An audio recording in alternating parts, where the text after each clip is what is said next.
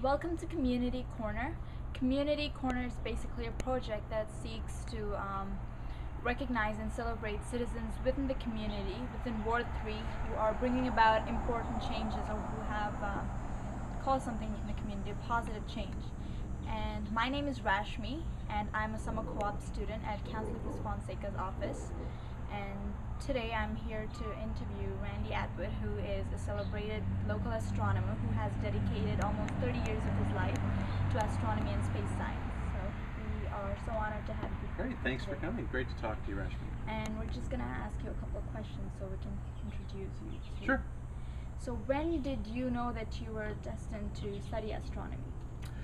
Well, it was the uh, around the summer of 1969.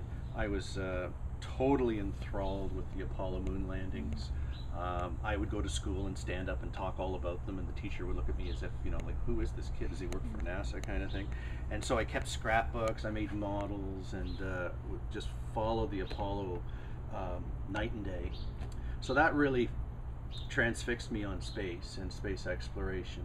And then about uh, a year later, there was a, an eclipse of the sun visible in, in March 1970 from, uh, from southern Ontario. And uh, so I made the proper um, observing uh, kit to observe that, and I thought this was really, really cool. So, astronomy and space, I was pretty well hooked.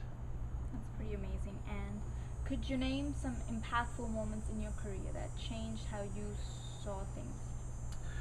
Uh, well, I, th- I think you know everyone's you know career over you know as you say 30 years or, or 40 years of, of doing something like this you're, you're always building upon your knowledge and so it's you know it's my parents who supported me it's teachers who supported me and then over time I've met people who have uh, inspired me who say worked on the Apollo program or worked on the space shuttle program these are very smart people uh, and just seeing how they live their lives, you can't help but be inspired. It can't help to but change your life. Uh, I've always been interested in teaching as well. I never became a teacher. I actually got into uh, information technology, did that for 30 years. Uh, but I was thinking about teaching, but all through my life, I always tended towards teaching jobs, either teaching people how to use software or teaching people about astronomy. So I, I think as you, as you go through life, these different experiences tend to funnel you uh, to do certain things based on what you really enjoy doing. So you draw your inspiration from all these people who have lived their lives. Is that where you draw your inspiration? Oh yeah, you can't you can't help but uh, you know after you say meet uh, like I've met met the, our Canadian astronauts. You talk about people who are are motivated, ambitious, and career driven. I mean, every time I meet a, a, an astronaut, uh, afterwards I feel like I'm I'm you know what a failure, man. You look at what this person's done. But I mean, these are super super people, and you can't help but at least try to change your life a little bit based on on what they do and, and how they live live their lives. Absolutely. And what type of changes would you like to bring into our community? What are your long-term goals? Well, as you say, I'm, I'm, I'm interested in teaching. I'm interested in mentoring. Uh, I think what I and the, the organizations that I've brought into the the, the uh, community, the Royal Astronomical Society, the local astronomy club, and also the Earthshine group, the not-for-profit uh, education group that I've started. I think our goals are to uh, to bring awareness to the community.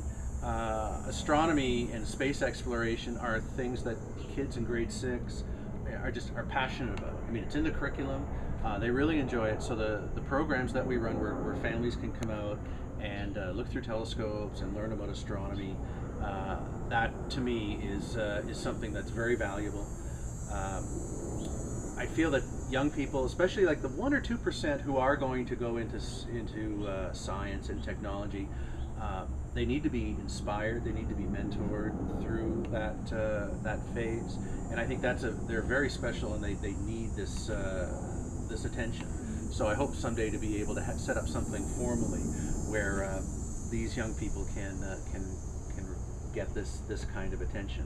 But one major aspect of uh, inspi- in, as well as inspiring young people to get into science and technology, is is just science literacy. I think it, it's so important for people in general to be literate. I mean, we're in a technol- technological age, we're in a scientific age, and it, it bothers me as a, as a science educator people, we just, I think in general, the public should be more science literate. It, it, it would help them with their daily lives and making decisions, and so that's a, it's a long hill to climb, but I think it's important.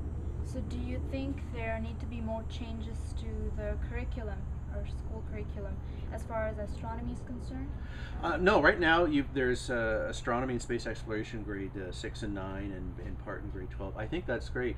Um, back in, in in the year 2000, when I was the national president of the Royal Astronomical Society of Canada, that's when the curriculum changed, and the teachers there was a, great need to help teachers with science, uh, with uh, lesson planning and astronomy, because you know the basically the, the what the curriculum was asking them to teach was a little bit it was a challenge. Um, I think where I'd like to go with that, I mean, I think the curriculum's fine, but where I'd like to go is to see some sort of facility in the Western GTA which could uh, serve teachers, group, um, youth groups, and provide a little bit more formal um, awareness of astronomy and space science, whether that in, involves a, a, small science center or a technology museum or even something with an observatory and a planetarium. I don't know, we're trying to scope that out right now. But uh, with our, our monthly sessions at Riverwood, uh, where families come out and look through the telescopes, and, and young people are just amazed, and well, adults too, when they see Saturn for the first time. And it always inspires young people to come up with questions. And uh, at the, our last session, uh, a 12 year old girl had just got a telescope for her birthday, and her mother, you know, tried to show her how it worked, didn't know. Within two minutes, we had her finding Saturn and Mars and the moon, and, and she was just squealing. I mean, it was just the greatest day of her life. So that's the kind of thing I think we can bring to the community, and it's just it's it's just trying to improve people's lives through uh, understanding, awareness of the universe, and it's certainly something that you know families can do together Yeah. for free. And uh, you know what what could be better than discovering the universe with your friends and family? Absolutely. What message would you like to give out to budding astronomers or kids out there? well, I mean, I, I guess it's uh, when when I was growing up, there wasn't the internet. There weren't all these opportunities. You sort of dug for this information. Right now, with the internet, uh, social media, it's just you know like the the Curiosity landing on Mars the other day. I mean, everything was available immediately. So if anyone who's interested in space or technology or science, there's a tremendous amount of resources out there. Uh, I would say follow your dream. Uh, you know what really turns you on, and then talk to your teachers, talk to your parents, because there's a, there are a lot of people out there who are, will be willing to uh, to help you uh, reach your goals. And you know there are no goals that are, are too high these days. I mean, if you, if you want to be the first person to go back to the moon or off to an asteroid. I mean, Canada is going to be involved with uh, with these trips. Uh, it's going to be there's going to be international cooperation. Uh, Mars may be about 30 to 40 years away, but certainly. Uh, there will be opportunities for people to, if you're not going to be an astronaut, at least be the people who help to build the spacecraft that go there, or the scientists who do the analysis of, of all the data. What are your personal ethics as far as career is concerned? Because. Uh, okay, you're going to have to rephrase that. My, my Like, what qualities do you think you need to have if you want to succeed in this field? Oh, okay. Um, I, the the people, the astronomers, the scientists I've met, who've uh, are the most successful, are the ones who are curious and passionate. Uh, they're um, they're interested in not only learning about these things, but also sharing it with others. Um, I had an opportunity once to meet uh, meet Carl Sagan, who has impressed me as like the the, most. Uh, he's sort of the spokesman for uh, uh, for science and technology, and just the the interest in learning. And then uh, recently, I met uh, interviewed Neil deGrasse Tyson, who's sort of up and coming as a, an astronomer, who's uh, uh, another pu- person in the public who is uh, inspiring people to learn about science. These are people who I think really bring forward, uh, you know, the, the, interesting aspects of, of science. And so, if you uh, are curious and uh, passionate uh, about learning things, then you shouldn't have any problem in uh, in a career in, in science and technology. Okay, but clearly your passion and curio- curiosity has brought you so far. So how does it feel to have an asteroid named after you? Well, it's really uh, it's really an honor, you know, the um, um, to think that there's a, a piece of rock out there, uh, out beyond Mars, you know, about two to three kilometers in size. Uh, fortunately, not headed towards the Earth. Uh, that is made out of either a stony material or iron nickel material. Uh, that's been out there since the beginning of the solar system with my name on it.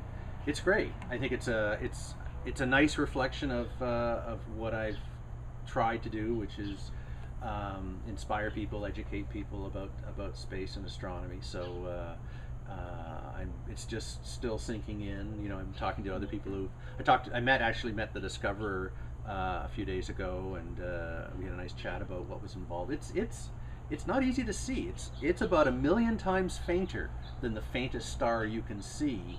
Not in Mississauga, but way far away from city lights. So I mean, it's going to be a challenge to photograph it, but I hopefully I'll be able to try and photograph it myself someday. I hope so too.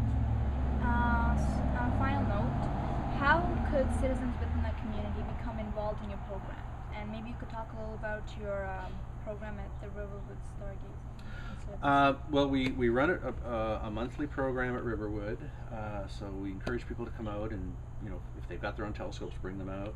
But certainly come out, bring binoculars. Uh, we show people the sky, we show them different constellations and stars. We always schedule it for a night when the moon is out, and if there are any planets out, we look at them as well.